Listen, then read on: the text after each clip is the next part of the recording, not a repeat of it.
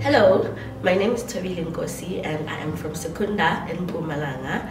I got into an accident in October 2011. I left home on my way to the driving school and I was in a taxi, public taxi, and we got into a head-on collision with another car. I was sitting at the back and I was, I had my earphones on and I was not aware what was going on and suddenly I had a bang and then I hit my knees, my legs at the back of the next seat. I sustained, well, my kneecap shifted on my leg to the side, so and I couldn't move it, so I had to be taken to the hospital. My recovery took some time because I was bedridden. Um, I couldn't walk, I couldn't do anything for myself because my I couldn't like use my leg, I couldn't stand on it, and it was just swollen and very painful. So um, I couldn't go back to school, I couldn't carry on with my um, taking my driving classes.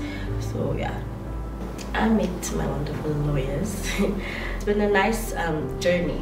When I first met them, they were very lovely, very friendly, and very patient um, and very understanding. That's another um, thing that I liked, you know, that they were very understanding in everything that was I was going through and what was happening. So my process hasn't been easy. It's been long, but they made it because they were so um, forward with every information. They were communicating every little detail, you know. So I wasn't frustrated, I wasn't angry or any other thing. I was just comfortable and trusting the process because they made sure that they let me know what was going on, you know, from day one until the end. So my whole process was very, yeah, it was very beautiful. That's the word I would love to use, yeah, very beautiful.